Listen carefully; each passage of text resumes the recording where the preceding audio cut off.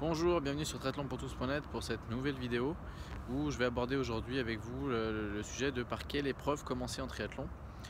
Donc euh, avant de commencer la, vidéo, vous pouvez toujours vous abonner en cliquant sur le petit bouton s'abonner euh, pour vous abonner à la chaîne et comme ça vous serez toujours au courant des dernières vidéos qui, sont mises en ligne. Donc par quelle épreuve commencer dans le triathlon? Donc euh, alors quand on démarre dans le triathlon, c'est quand même c'est pas vraiment recommandé, enfin moi je recommanderais pas d'aller euh, se lancer dans un Ironman directement. Euh, il y a des gens qui le font mais euh, je suis pas sûr que ce soit une bonne solution. Donc par contre pour commencer le triathlon il existe plein de petites épreuves pour, pour démarrer, pour se faire plaisir, pour se tester.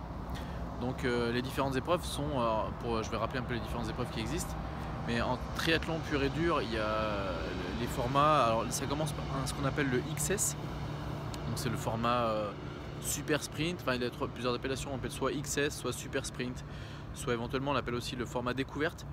Donc là qui est constitué de 400 mètres de natation, il y a 10 km de vélo et 2 km 5 de course à pied. Donc c'est quelque chose de, relativement court quand même.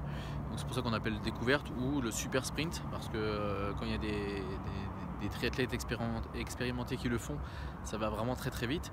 Mais bon, c'est le genre de format qui est plutôt réservé, euh, enfin qui, est généralement plutôt fait pour les, gens qui veulent découvrir la, discipline et ils veulent, commencer en, en, plutôt pour se rassurer et, d'essayer d'aller au bout de l'épreuve sans, se faire trop de mal. Donc même si on n'a pas un grand niveau de sport, on peut quand même arriver à faire un triathlon XS. Euh, ensuite, vous avez le triathlon, euh, l'épreuve, le format juste au-dessus, qui va être le S ou euh, aussi appelé le sprint. Donc là ça va être 750 euh, mètres de natation, ensuite vous avez 20 km de vélo et 5 km de course à pied. Donc c'est un format qu'on appelle sprint parce que pour les triathlètes expérimentés c'est un format qui va extrêmement vite, hein. ils sont au maximum de leur capacité tout le long de la course. pour les meilleurs c'est un format qui se, qui se déroule en moins d'une heure, pour les trois disciplines enchaînées en moins d'une heure ils ont terminé. Euh, donc voilà. Donc pour démarrer, euh, moi c'est ce que j'avais fait quand j'ai commencé le triathlon, j'avais démarré avec un format sprint parce que bon 750 euh, mètres de natation ça reste, ça reste faisable. Même quand moi comme, comme moi que j'ai commencé j'avais pas un grand niveau de natation. Et, du coup c'est quand même accessible.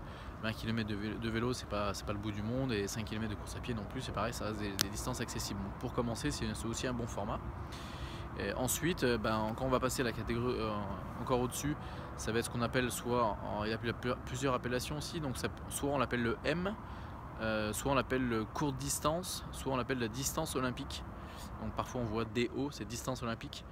Donc là, bah, ça va être le double du sprint, donc ça va être 1 km de natation, ça va être 40 km de vélo et ça va être 10 km de course à pied. Donc là, c'est un format qui qui peut encore être accessible pour des débutants, si, euh, enfin débutants dans le triathlon mais qui ont déjà un peu euh, l'habitude de faire du sport, qui sont euh, un petit peu légèrement entraînés, donc ça reste quand même accessible, ça reste faisable. et ensuite, quand vous commencez à, progresser, par contre c'est une distance qui est très intéressante parce que c'est pas encore de la longue distance, ça reste ce qu'on appelle la courte distance, mais, mais ça commence à être un peu plus physique, les, enchaîner les, dans les différentes transitions, enchaîner sur un M, ça commence à faire un peu plus mal aux jambes quand on descend du vélo et qu'on se met à courir, ça commence à, entre guillemets, à piquer un petit peu plus comme on dit. Donc voilà. Et après, donc là on va passer ensuite sur du longue distance. donc là, le longue distance, alors il y a plusieurs formats de longue distance, parce qu'il y a le longue distance suivant les fédérations. Il y a le longue distance de la fédération de triathlon qui va être lui du 3 km de natation, euh, qui va être 100 km de vélo et 20 km à pied.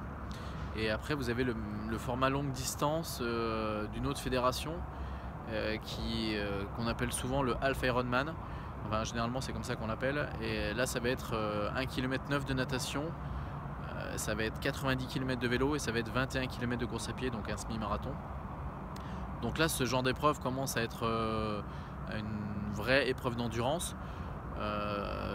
Pour, les athlètes les plus entraînés, ça reste pour eux encore une, épreuve de vitesse parce qu'ils sont encore capables d'aller sur des distances comme ça, ils sont encore capables d'aller extrêmement vite. Mais par contre, pour le, commun des mortels, euh, ça commence à être une vraie distance d'endurance et là, il faut commencer à s'entraîner sérieusement pour pouvoir euh, aller au bout d'une part et pour pouvoir le finir dans de bonnes conditions d'autre part. Et ensuite, après, vous avez, vous avez encore des formats qui sont encore plus grands comme l'Ironman, mais bon, pour débuter, euh, L'Ironman, euh, rappelons, c'est quand même 3 km 8 de natation, c'est 180 km de vélo et c'est 42 km de course à pied, donc un marathon pour terminer. Euh, si, si vous vraiment voulez démarrer la discipline directement avec l'Ironman, à moins que vous ayez vraiment un très gros niveau de sport dans les trois disciplines déjà au départ, je pense que c'est pas vraiment une bonne solution puisque c'est le meilleur moyen pour se faire mal, pour, pour se dégoûter du triathlon et ne jamais y revenir. Et, si on arrive à aller au bout, malgré qu'on ait quand même voulu, on ait quand même voulu le faire, généralement on, va, il y a de fortes chances qu'on se blesse ou qu'on se fasse, enfin blesser sur le, sur le coup ou euh, pas blessé mais par contre on va mettre tellement longtemps pour s'en remettre qu'on ne voudra jamais en refaire et euh, qu'on va même être pénalisé après pour dans d'autres sports parce qu'on ne comprendra pas pourquoi on s'est fait mal et, pourquoi on a du mal à on a des tendinites de partout et voilà. Donc euh, je pense pas que ce soit le bon moyen pour commencer. Le, pour commencer le triathlon pour découvrir la, discipline le XS c'est très bien le S c'est très bien et pour quelqu'un qui qui est déjà bien sportif le M c'est déjà une bonne épreuve c'est déjà des bonnes solutions pour commencer. Donc voilà donc si cette vidéo vous a plu, vous pouvez euh, la partager sur Facebook avec le lien qui est en dessous. Vous pouvez laisser votre commentaire, euh, ça, m'intéresse de savoir un peu ce que vous en pensez.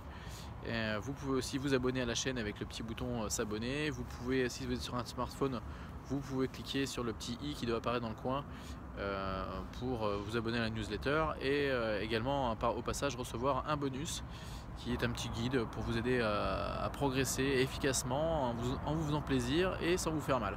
Donc voilà, à bientôt pour une prochaine vidéo. Salut